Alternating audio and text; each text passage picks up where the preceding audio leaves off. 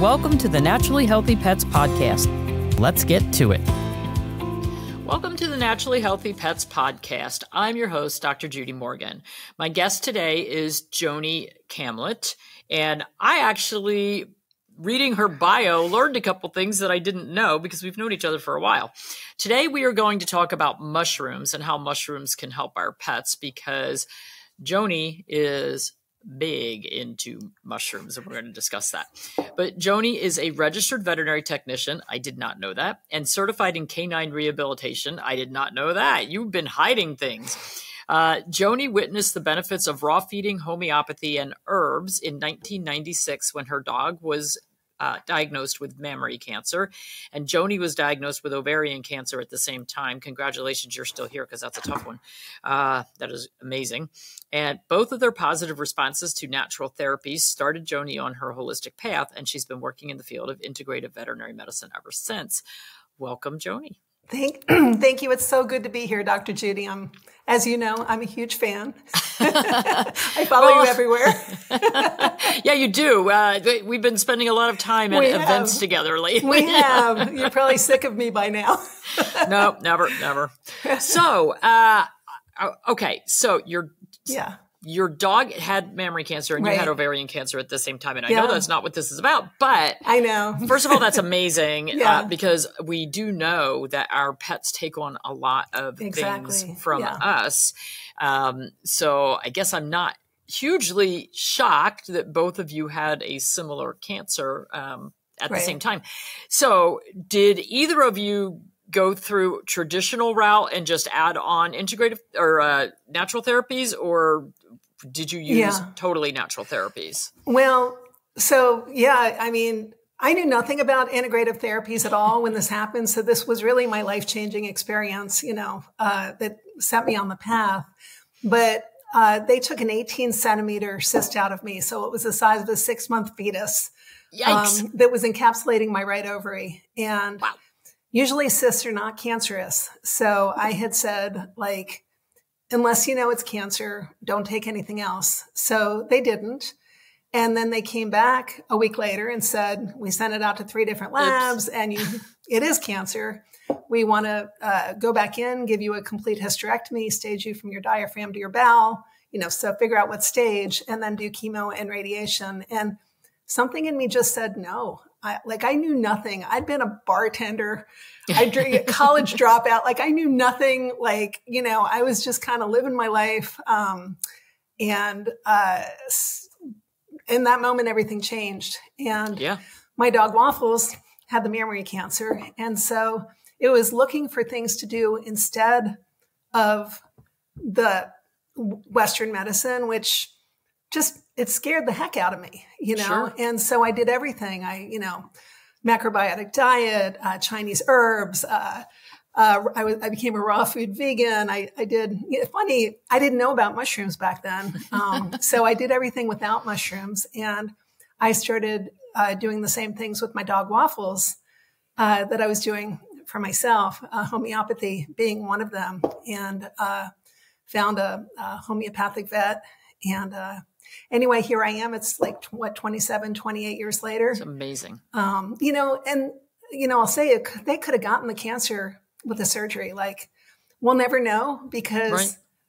I, I walked away from the Western medicine. Um, wow. But, and frankly, so much of chemo actually causes cancer. Yes. yes. So sometimes you get sort of in remission or cured from one cancer and then end up with something else. And yeah. certainly we know the side effects are atrocious. So, yeah. Yeah. Um, so good for you. You'd probably feel a lot worse. yeah. I mean, looking back, I'm, I, you know, I'm so grateful, you know, I did what I did and I'm grateful for the outcome. And it, like I said, it set me on my path.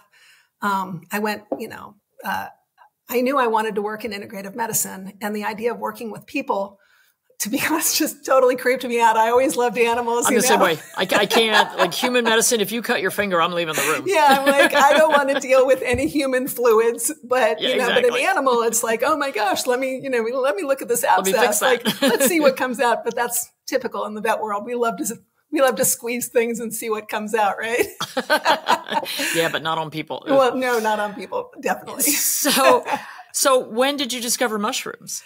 So um, that was uh, that was not until uh, 2019. Um, wow. So new. yeah, so you know, I went, I, I you know, I went into hands-on vet medicine, went in, went into canine rehabilitation, and then started working for Standard Process. And so I worked for Standard Process for a decade, from uh, starting in 2010, and uh, Standard Process was going through some transitions uh, in 2019, and my uh, one of my mentors and teachers, uh, herbalist named Lee Carroll, uh, was became very interested in mushrooms. He was working for MediHerb, and he left MediHerb to go work for a company called Aduco, formulating a mushroom product.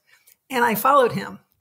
And I knew nothing about mushrooms, um, but I was going to be the one that was going to be sharing these mushroom supplements with veterinarians.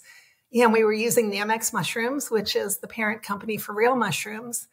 And um, it was, I went down the rabbit hole of lion's mane, learning about lion's mane and the benefits, and had such a profound experience with lion's mane uh, with a group of veterinarians that were using it for dogs with degenerative myelopathy um, mm. that it changed my life. I mean, I've now moved to Virginia from Berkeley, California. I bought five acres, uh, four of it's forested, um, and have just left, you know, uh, went to Real Mushrooms and said, please hire me. All I want to do is work with mushrooms for the rest of my life.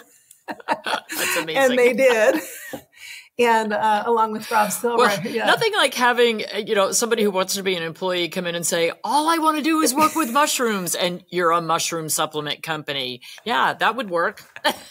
exactly. So yeah, so uh, Skye Chilton, the owner, like he he listened and uh, I guess saw saw the wisdom, and uh, along with uh, Dr. Rob Silver, who is the formulator for our product line. Um, I've been doing it ever since, and so I get to spend all day reading about mushrooms, talking about mushrooms, foraging for mushrooms in my uh, foraging in mushrooms. my in my yard. You know.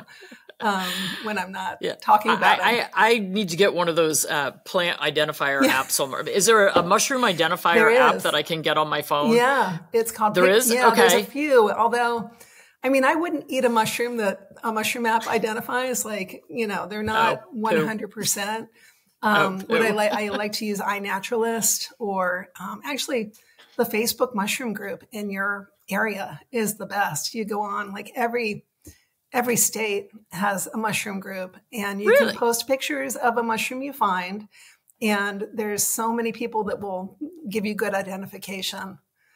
I had no clue yeah. there were like mushroom there's crazy mushroom people all over the, all over the country. crazy mushroom people everywhere. No, only because uh, you know I see like, especially if my husband mows the fields. Yeah. When there's a lot of mushrooms out there, of yeah. course, we're spreading the spores everywhere. Right. And then two weeks later, it's like, I have a really nice crop out here. I have no idea if it's good or bad. we usually call them LBM, little brown mushrooms. of which there's like these are 10,000 varieties. Okay. These are big white mushrooms. Oh. I don't know what they are, but they're they're popping up everywhere. You'll, you'll have to send me pictures. I will. Uh, okay, I'll, I could do I'll that. Take a look. That'd be cool. I get my text is full of people who send me mushroom pictures, and I love it. Please keep sending them. You know, I think mushroom pictures would be better than what I get in my inbox because mine are usually poop pictures. exactly. Yeah. I'll t- yeah, I'll take the mushrooms. Thank you. yeah, exactly. Okay, so um, mushroom supplement quality yes. issues because yeah. uh, I've been learning a lot right. about mushrooms listening to Angela yeah, Ardolino talk about yeah. talk about mushrooms yes. and how they're processed and right. how they're grown and mm-hmm. all of that kind of stuff. Um, but uh, the question I have for you, I mean, we know that we we want the whole mushroom, right. not a lot of substrate ground up in there. Um, but does it matter? It, so if I'm getting mushrooms from a company that is uh, harvesting them correctly right. and letting them grow to be the, the whole mushroom. Yeah. Does it matter whether it's in a liquid or a powder or a chew? Like, yeah. are they all the same bioavailability or is it, does it change? You know, that's a great question. And I don't think we are completely clear on the answer to that yet. I mean. I, I'll address the the powder mushroom issue because that's what we work with. Um, okay. You know, one thing I'll say about mushroom quality is there's there's three parts to a fungus. Um, there's the mushroom, which is the part that's the above ground. That's what you see. It's the typical um, image of a mushroom. You know, it's kind of right. like a, uh, like uh, looks like a mushroom. Uh, right. And then there's the spore, which is the reproductive part. And then there's the mycelium, which is, I, I guess, could best be compared to the roots of okay. a plant, although fungi and plants are completely separate. They have their own kingdoms. But um, the biggest challenge with mushroom quality is that mushrooms are very they're hard to grow. They're very particular. They need um, they need a particular light. They need water air um, and in order for that actual mushroom which is the part the above ground part to uh, to decide to uh, to come up uh, it takes between three and six months. And most mushroom companies they don't have time to wait for that to happen. Right. Financially, they can't do it for, for efficiency reasons. So what they do is they inject the mushroom spore into a block of rice or oats. And then that mycelium kind of the little fingers of the mycelium grow all in through that, the oats or the rice. And maybe a few mushroom, what they call fruiting bodies will pop up. But for the most part, it's just a whole lot of mycelium uh, encapsulated in that rice or oat. And there's no way to separate that mycelium. So what they do is they grind up that block of rice or oats with the mycelium and they call it a mushroom. And mm. it's not a mushroom. It's, right. and I'm not saying that it's not a good, you know, I'm not addressing the quality of that product. I'm addressing the transparency of doing that. And so, right. um, you know, I would say buyer beware as far as that. And some companies label it as like myceliated grain or mycelium on grain.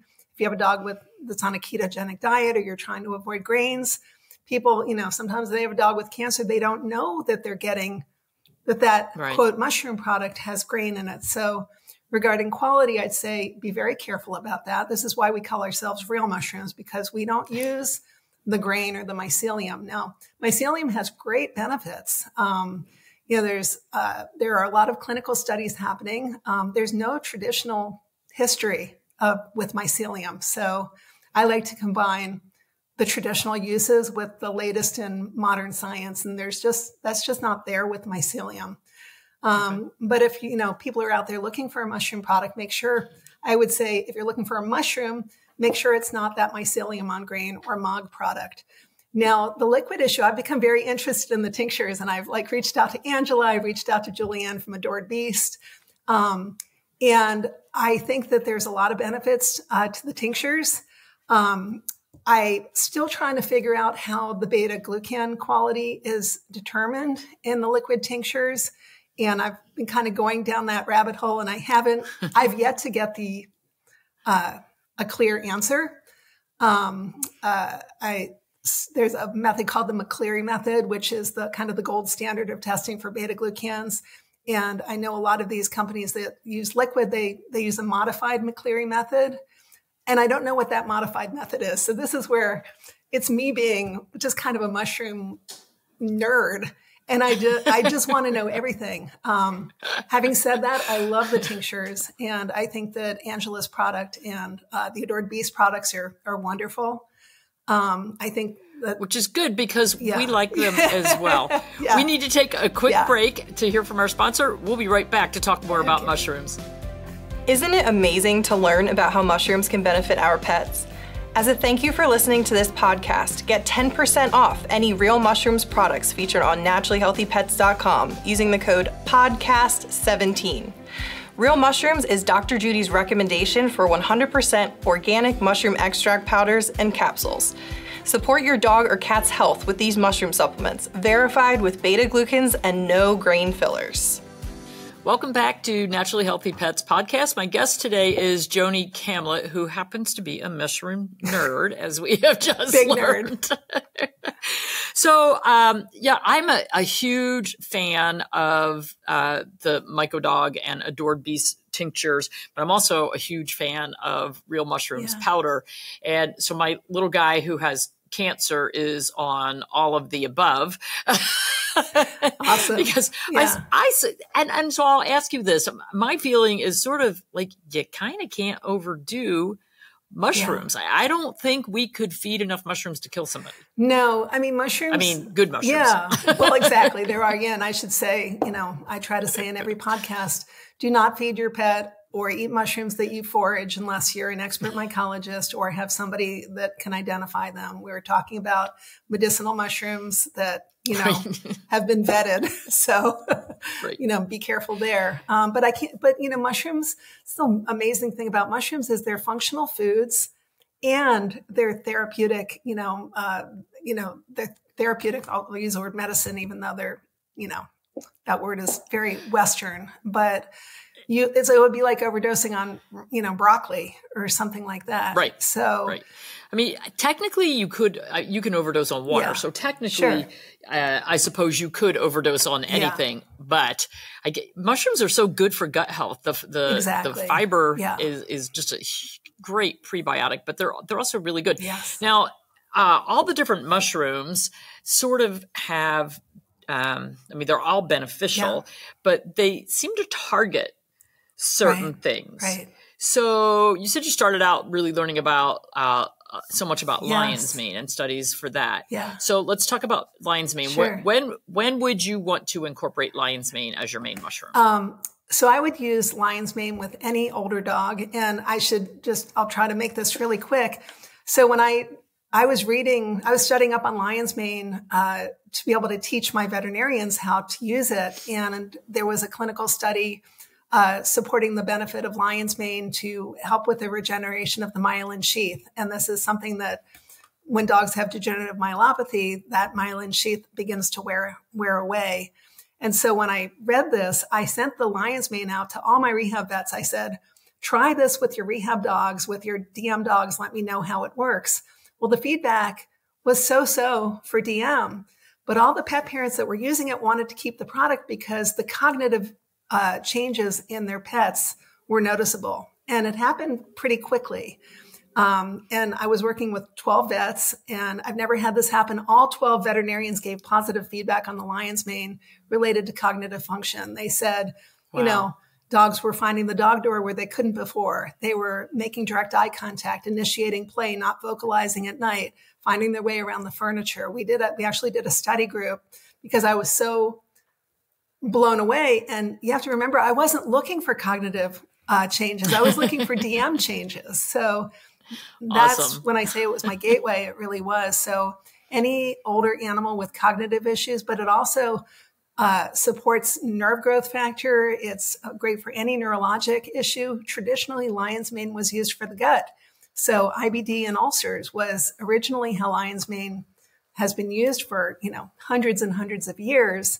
So, um, you know, an older dog with uh, digestive issues, maybe they're on Rimadyl or something like that, the lion's mane can support the gut. Um, all mushrooms are great prebiotic, but it's also going to support their cognitive abilities and their ability uh, to move, basically. Awesome. Yeah. So, uh, what other mushrooms? Would be more specific for gut health. I mean, yeah. they're all good, yeah. but do you have do you have other ones that you really like for gut health? Because I mean, that's yeah. IBD and allergies are like the right. biggest problems right. that veterinarians treat dogs for. Um, cats a little bit, but uh, I mean that's that's the biggies. So, is there another specific mushroom that you would try for gut health? Uh, for IBD? Yeah, well, turkey tail is a great prebiotic. I mean, all mushrooms have prebiotic qualities, so you're not going to go wrong no matter which mushroom you pick. Um, chaga is often used uh, to support uh, gut health. Um, personally, I like our five defenders, and you know we've talked about it before it's because it's got turkey tail, chaga, maitake, uh, reishi, and which one am I? Turkey. Which one am I? Shiitake. Your favorite shiitake. Um, it's my favorite. So you know, for gut health, I would just go right to uh, right to the five defenders because you know the the beta glucans in the in all mushrooms uh, they make great prebiotics they're they're actually not digested well in the system they they stay in the gut and they they you know they act as wonderful prebiotics So um, we were talking about allergies mm-hmm. uh, recently as one of our yeah. focus weeks, um, and we were we we chose reishi yes. as kind of our top allergy yep. one because it actually uh, functions sort of as a natural antihistamine. It is antihistaminic. That's right. Yes. Yes. So, so with that said, for um, we see so much mast cell yes. cancer in dogs. Would reishi be our mushroom Absolutely. of choice for mast cell dogs? I would. I would definitely be giving high doses of reishi, although you have to be aware reishi is very, very bitter. It's the most bitter of all the mushrooms, and uh, you want a bitter reishi because that the the bitterness is related to the quality. The more bitter, the better quality reishi you're getting. But if you are using reishi, you're not going to want to like mix the powder in with the food. You're probably going to want to give it as a capsule. Or if there's a tincture, I don't know. I, the tinctures would probably be a little bitter, but maybe they're mixed with uh, something that make you know the flavor that makes it taste a little better. But that that would be my one caution about about reishi. And so the only reason not to mix it with the food is just because of the, the bitterness. bitterness. You don't want I mean, to stop them from eating. Yeah, animals okay. you know instinctively avoid bitter um, because most poisons happen to be bitter, but also many, many good medicines. Uh, actually, many good uh, digestive uh, medicines that support digestion are also bitter. Uh, think on mm. the human side, think of digestive bitters. This is why, you know, we drink these uh, before we eat food. That's interesting. Yeah, I, I have to say, my little guy that is on so many mushrooms, he is he is on a two, three tinctures. and the five yeah. defenders powder. Yeah. And he just chows down. Thank God he's a good eater. yes. I mean, he's just like, okay, how much more stuff are you going to throw in my yeah. food? Yeah. Yeah. but I, I, I love them. Okay. So, um, so for our seniors, we definitely want to do lion's right. mane, and then for any kind of uh, like severe allergies, maybe straight reishi. Ch- um, chaga is, there... is also uh, good for allergies. I would say reishi. Reishi would okay. be my first choice, but chaga is also has some anti uh, antihistaminic, anti allergenic effects. Now, turkey tail has been studied pretty extensively yes. for cancers. Yes. So, would that be your kind of your go to as far as general cancer yeah, if I had a dog with cancer, I'd be giving very high doses of turkey tail. Um, I will say those the studies uh, that were done. There was two studies done on turkey tail, and it was done on the turkey tail mycelium, not on the fruiting body.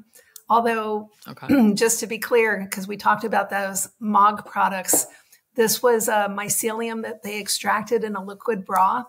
A very complicated process. It's patented. It's a uh, it's a product called I'm-Yunity and this is why it's so expensive, is because it's so complicated to make, uh. very different than myceliated products that you can find in the marketplace. And there was a study it. in 2012, uh, dogs with hemangiosarcoma had uh, right. extended survival times on high doses of this I'm-Yunity product. Now, the, unfortunately, there was another study done in 2022 with a high, uh, a larger cohort of dogs. There was about 100 compared to, think about between nine and 12 dogs in the first study. And it wasn't as impressive. I mean, I'll just be frank, it was not as impressive. Hmm. Um, and uh, they used more parameters. They had some dogs that were on chemo, some weren't, some were on the chemo and okay. uh, the turkey tail.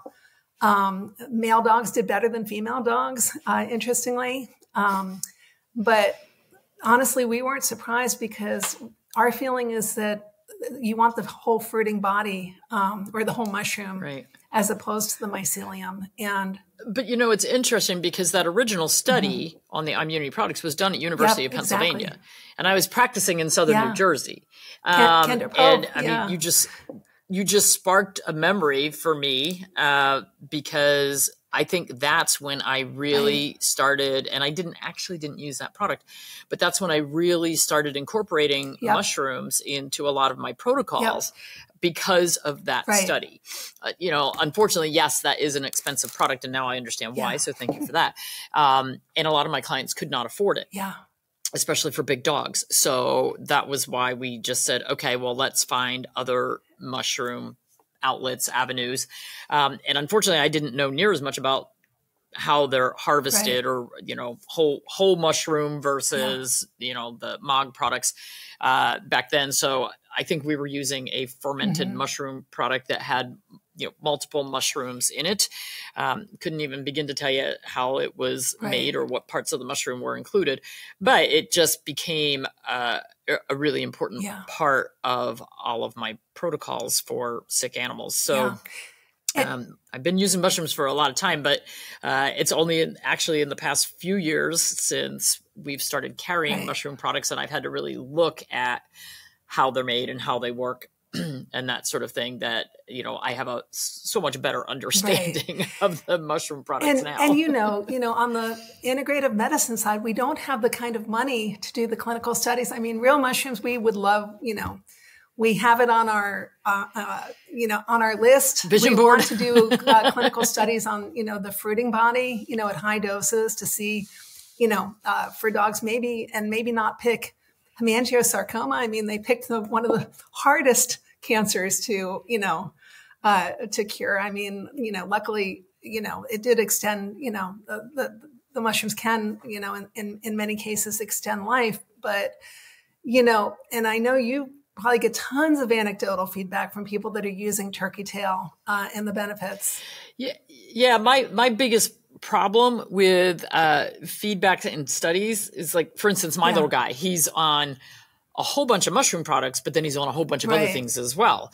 And so when you're looking at clinical studies, you want to only exactly. have one variable yeah. that you're looking at. And if you're like me and you've got a pet with cancer, you're going to throw the exactly. kitchen sink at, yeah. well, I, I I'm not not throwing the chemo kitchen sink or the radiation kitchen sink, but anything natural that I think is right. going to help this little guy. Um, he's on a lot of whole food yep. products. He's on a lot of herbs, and he's on a lot of mushroom products. Um, and knock on yeah. wood, so far so good. Uh, I, you know, I'm, I'm ecstatic about where we're we're going yes. with him. So um, I think mushrooms are a huge part of any kind of cancer right. protocol, but I think that uh, they really need to be incorporated as just a general a daily supplement. supplement. Yes. Daily supplement because they they also work for cancer yes. prevention, not yes. just treatment. They, I, I like to say they add a vigilance and a vitality to the system, and you know it's there. You go. You know, mushrooms are not, for the most part, not acute use products. Uh, they should be taken daily um, I think lifelong. And what you'll notice um, in your if you're taking them yourself or in your pets is you have more energy. You don't succumb to colds and flus as easily. Um, you sleep better um, mentally. You know, uh, mush, there are mushrooms that can help balance your mood. Uh, reishi, for instance, uh, tremella is another one. Um, so just it gives you an overall vitality, um, and it will do the same for for your pets. It's awesome. Okay. Uh, we're out of time. I could talk to you about mushrooms for a long time. This is this is, and that kind of surprises me that I can talk about mushrooms for oh, a long well. time. But I, I mean, they are they're they're just amazing. So, Real Mushrooms yeah. is the company that Joni That's works right. for right now. They are on all the social media, yep. so you can follow them. And uh, we have the Real Mushrooms products on That's our right. website. So there's uh, you can read about each of the mushrooms and what they're recommended for, uh, and their different uses. But um, Joni, thanks for all My the work pleasure. that you're doing doing, and you're helping a lot of animals and people, and we really appreciate. Oh, as are you. Thank you, Dr. Judy. Thanks for listening to another great Naturally Healthy Pets episode. Be sure to check out the show notes for some helpful links. And if you enjoy the show, please be sure to follow and listen for free on your favorite podcast app. We value your feedback and would love to hear from you on how we're doing. Visit drjudymorgan.com for healthy product recommendations, comprehensive courses, upcoming events, and other fantastic resources. Until next time, keep giving your pet the vibrant life they deserve. The purpose of this podcast is to educate and to inform. It is no substitute for professional care by a veterinarian, licensed nutritionist, or other qualified professional. You're encouraged to do your own research and should not rely on this information as professional medical advice, diagnosis, or treatment. Dr. Judy and her guests express their own views, experience, and conclusions. Dr. Judy Morgan's Naturally Healthy Pets neither endorses or opposes any particular view discussed here.